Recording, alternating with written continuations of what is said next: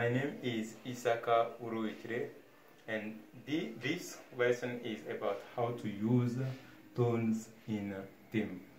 So let's start. Before you are able to use the uh, tones in Tem, you have to compare and this is very important.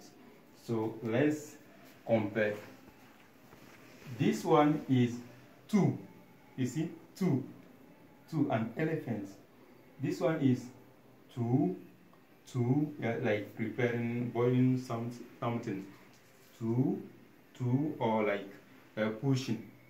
Two. Here it's an order like two, two, two. You see the, the, the difference? Two, two, two. You see? Two, two, two. And here we have yeah. You see, if you write it this way, it is yeah, yeah, yeah, yeah, yeah. You know, when somebody uh, greets you, you say yeah, yeah. Now, this one is an order.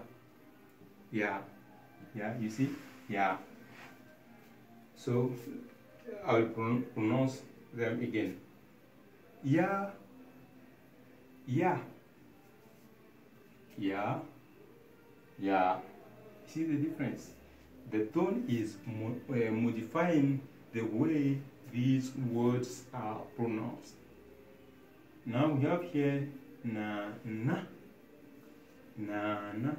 These are low tones, na, na.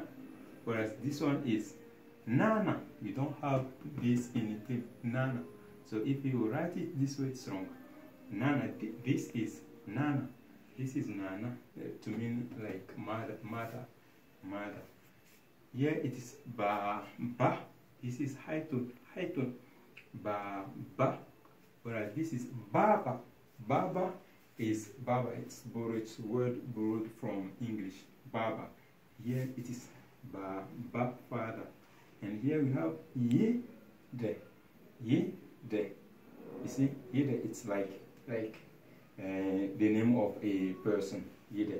And here it's yide, we don't have it in Tem, yide. So if you, instead of writing yide, if you write it this way, it's wrong. You know, it's wrong.